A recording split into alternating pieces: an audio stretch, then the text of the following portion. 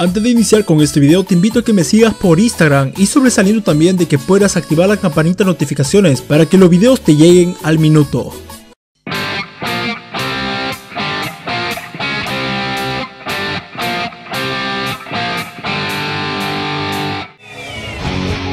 Cinco cosas que deberían suceder en SmackDown Live con la llegada de Fox Sports.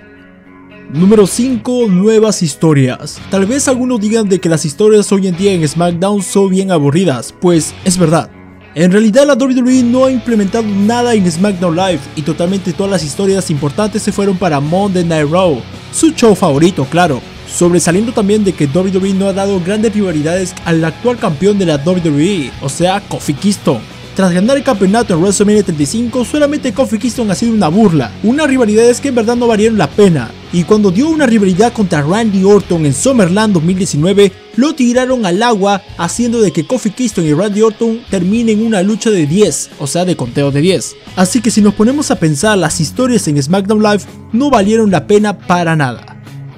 Número 4. La Will Card Rule una de las innovaciones de Vince McMahon era la Will Card Rule, en que consistía de que 5 superestrellas de SmackDown y 5 superestrellas de Raw vayan a cada marca a invadir. Supuestamente esto sería una gran idea, ¿no? Pues en realidad ha sido una basofia. La WWE no ha dado tanta relevancia a la Will Card Rule que trajo tanto así que Roman Reigns ha estado más en Raw que SmackDown Live. Y de SmackDown Live sus historias ya se veían venir contra Daniel Bryan y luego Kofi Kingston se fue a Raw. ¿Y qué sucedió? Nada importante. ¿Y por qué chucha no lo llevaron a Seth Rollins a SmackDown Live? Solamente lo llevaron por una maldita vez y nada más. Así que traerlo así de esa manera a la Will Card Rule de en verdad deberían desaparecerlo y hacer un Super Shake Up para que así la Super Shake Up vayan las grandes superestrellas o bueno, algunas superestrellas vayan a SmackDown y las otras Raw. Pero por favor las historias se queden intactas en una sola marca y no chucha se vayan a cada marca para que así nos aburra en su programación. Número 3. El diseño o la escenografía. La escenografía en WWE ha sido igualita durante estos últimos años. Raw, SmackDown y los Pay por ver hasta NXT ha sido la misma escenografía que sucedió en cada show semanal o tal vez en un Pay por ver. En verdad no llama la atención ninguna escenografía que hoy en día tienen, pero tras la llegada de SmackDown a Fox Sports, según dice que todo va a cambiar, ya que con el nuevo logo de SmackDown, esto podría generar controversia en el cual el show azul va a tener su propia escenografía y Monday Night Raw también va a tener su propia escenografía. Algo innovador que podría generar, esto dando que SmackDown Live sea el show A.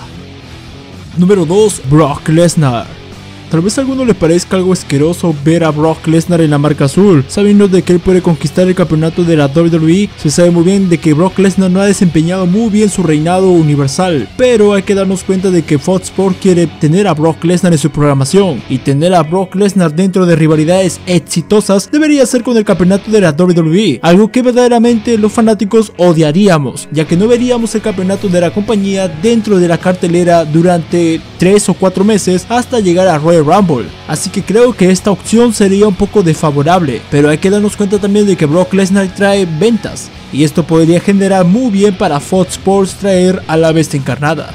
Número 1. Traer un nuevo campeón de la WWE. Hay que darnos cuenta de algo. Kofi Kingston cuando consiguió el campeonato en WrestleMania, tal vez todos hemos aplaudido ese bello momento.